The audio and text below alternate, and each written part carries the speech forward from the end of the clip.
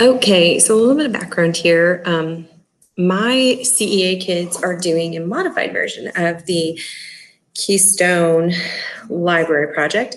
We have a library that sits directly across the street from our school. I can actually see it right out my shop window. Um, and we were able to acquire all the original plans for that library. And they were sent over to me in a flash drive on PDF. Sorry if I look over my shoulder constantly, it's because I have freshmen in the other room. And um, they to be watched. Anyway, um, so I got a flash drive with all the PDF files of the architectural plans, the civil plans, the structural plans, the mechanical plans. But after um, a little bit of Google searching, I found out that the company who, or the firm rather, that drew up all those original plans went under in 2009 because of fraud, um, like giving and accepting bribes. Neither here nor there. Um, but that meant all of the original digital files where I might have been able to get a DWG file did not exist. And I, we needed to create a site plan that included all the topography. Now, we haven't put in the streets and components yet. The kids will do that over the course of this week and next. Um, but I was able to figure out how to use the PDF document I was given to create uh, this topo surface. And I'm pretty proud of myself for figuring it out. Um, I was slightly inspired by a YouTube video, which I will um, link into the post as well.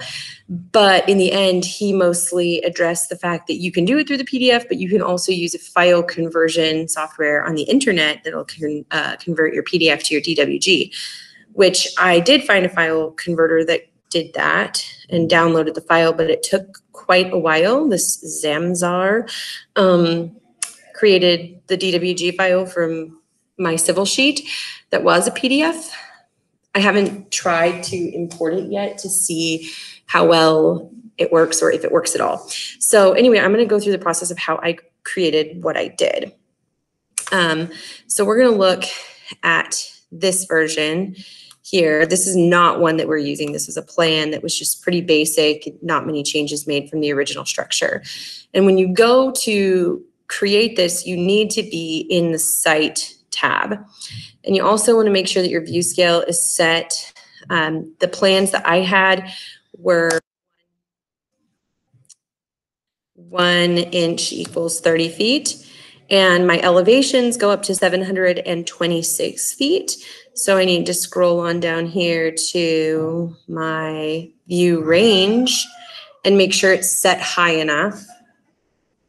Freshman squealing in the background.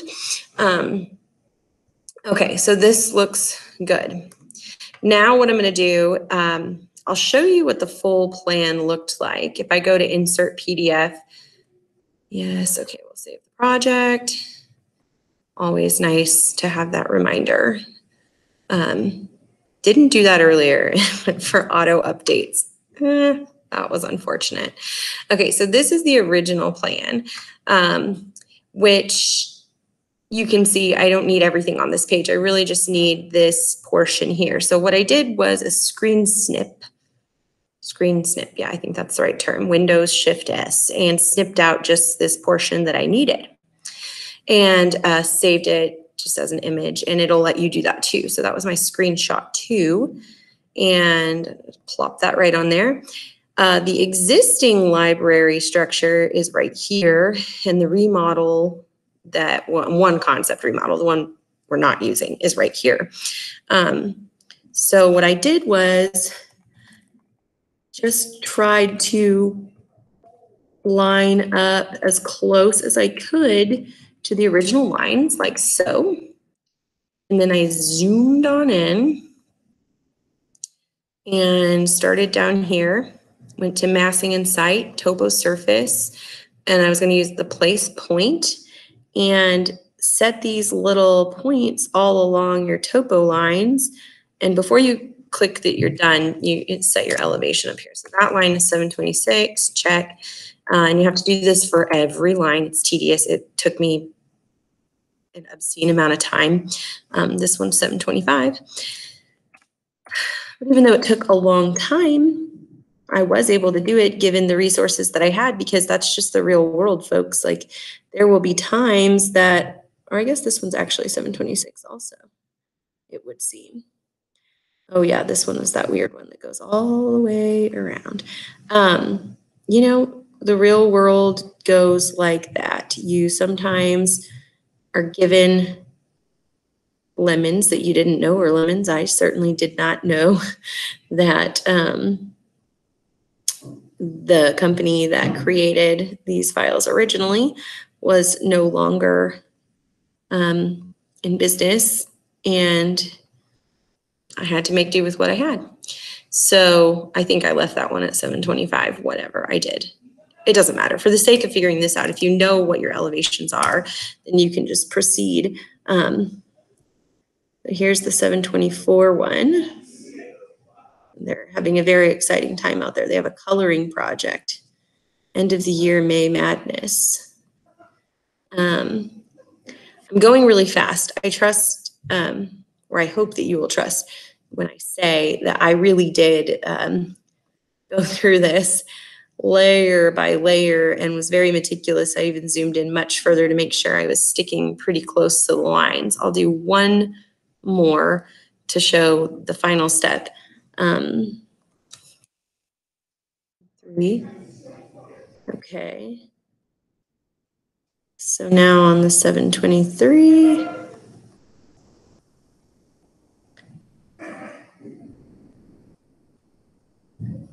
And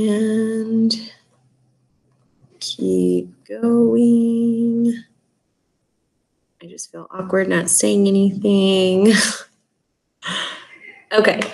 Um, so now if you look at it in 3D view, um, obviously you need to get this all oriented right, but that's really not the part that we care about right now. What we do have here is what I've created, and I think I have it set in um, consistent colors right now.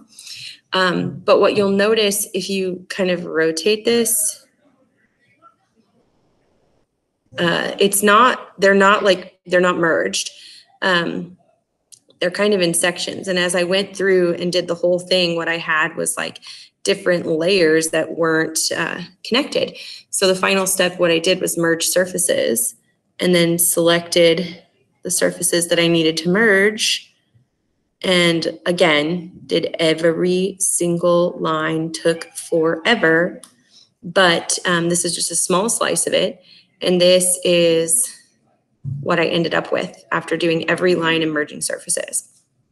Um, like I said, this was the part that was most critical to trying to get it done so that we had a site plan or a good chunk of the site plan. Like I said, the roads and the trees and all the other things, parking lot and whatnot, are not in here yet, but that will be soon. But that was how I used a PDF to, um, oops, I don't know what I'm doing here. That was how I used a PDF to create that portion of site. And maybe you did already know that, and I didn't discover something new, which is totally fine because it was still new for this girl. So hopefully it helps somebody. Bye.